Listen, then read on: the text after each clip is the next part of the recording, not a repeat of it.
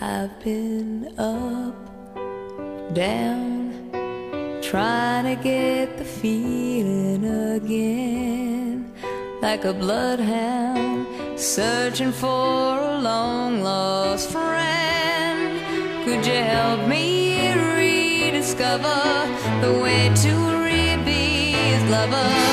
Once again?